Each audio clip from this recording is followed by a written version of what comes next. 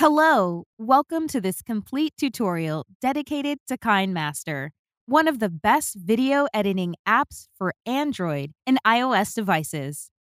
This is our first video dedicated to smartphone and tablet apps. If you like this video, make sure to visit our new channel. KineMaster is the best solution to catch, edit, and share videos straight away with the easiest workflow for mobile devices. In this video, we will use the Android version, but the features do not change with the iOS app. KineMaster can be used for free, although it misses some features such as the chroma key and also includes watermarks. You will have to subscribe for a premium version to get rid of these. When opening KineMaster, its main page shows up with the list of your latest projects made on the right and all the options to start on the left. You can also visit their official YouTube channel and their asset store, useful to download free and premium samples, overlays, effects, and text. To start with a new project, you can either use the magic wand to follow guided steps to define a title, the first media files, with any transition. Or the main button to start from a new blank project, defining its aspect ratio between 16 to 9, 9 to 16, or 1 to 1. At this point, you can import all the media files to start editing. Use the red button on the right to capture photos and videos with your device right away. Whereas, if you already have your media files, go to Media and browse for either photos or videos. Recognizable through their icon on a corner.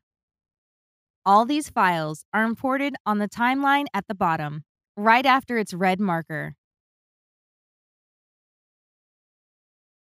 They are shown as blocks called clips, complete with thumbnails that you can zoom in and out of directly. With voice, you can also record from your microphone,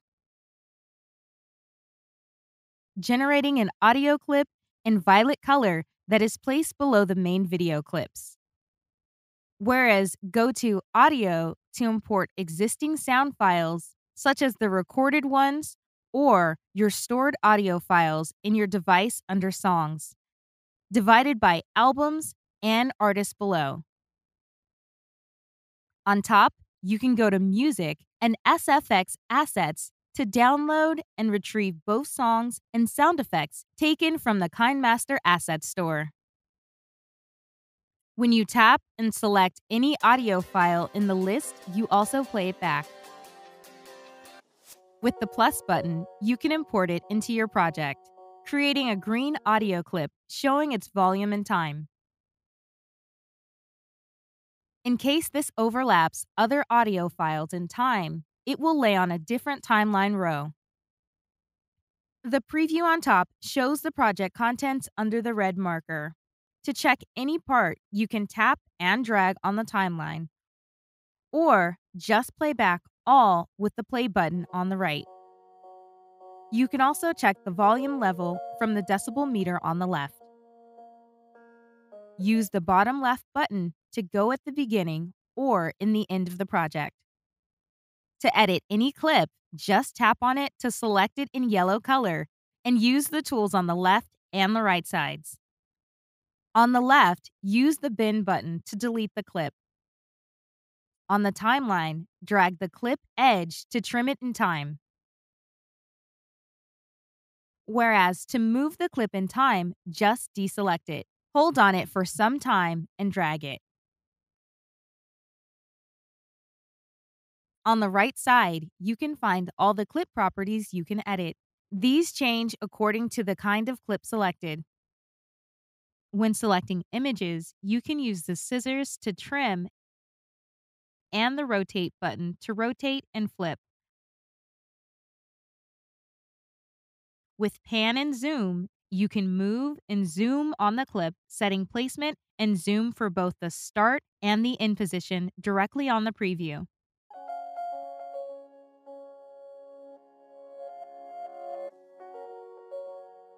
Below, you find advanced adjustments, such as clip graphics to add cool graphics, color filters to add filters, and adjustment to correct brightness, contrast, and saturation levels. Use Vignette to add a cool vignetting effect. To close the panel, use the checkmark button. In case you make any mistake, use the undo and the redo buttons on the left side. On audio files, you can adjust volume, panning, and pitch with audio. Equalize sound with EQ presets and change the volume and time with volume envelope, saving points with a fixed volume level.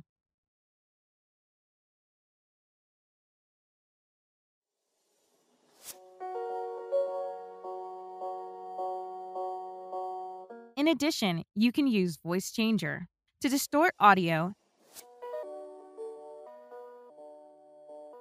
and the other options to add ducking, loops, or trimming. On videos, you find the same options seen for both photos and audio files, but also speed to fasten or slower the speed rate of the video, saving the audio pitch or not reverse to playback the video on the other way, and extract audio to separate its audio part. Next, of each clip, you can tap and select the transitions to add amazing visual transitions between clips. KineMaster gives you the possibility to add other media called layers overlapping the main content of the clips from a second timeline row. These are all collected under layer and can be media files, visual effects, overlay graphics, pieces of text, and also drawings with handwriting. These layers behave like standard clips on the timeline with the difference that you can also move, resize, and rotate these on the preview when selected. The Properties panel on the right shows additional options to customize the layers overlapping. Media layers have the same options seen for the clips, but also split screen to split screen between the clips and the layer. The animations to add animation at the beginning, during, and in the end of the layer. Cropping to crop on the preview and either alpha or blending to add transparency. The effects layer in blue color apply the same effect on all the clips overlapping in time. Choose the effect to apply,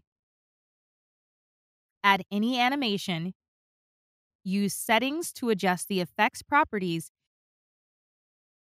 and go to Shape to change the affected region on the preview. The overlays in red and the handwriting in orange are very similar in properties and options. You can change the graphics to apply or the brushing style for your drawing, including shape, color, and size, using the eraser to delete any drawing on the preview. Pieces of text are in yellow and you can type inside, change the font family, color, transparency level, and apply great effects like shadow, glow, or backgrounds. In case any layer gets overlapped, use the three dots button on the left to arrange the visibility order between the several objects. While working on your project, this gets saved automatically. You can come back to the main page by using the button in the top right corner. If you want to export your final video, use the share button. Set resolution, frame rate, and bitrate at the bottom using export to start. KineMaster exports .mp4 videos up to 4K resolution, but the rendering options deeply depend on your device specifications. Thanks for watching this video. If you liked it, make sure to check our new channel dedicated to smartphone and tablet apps.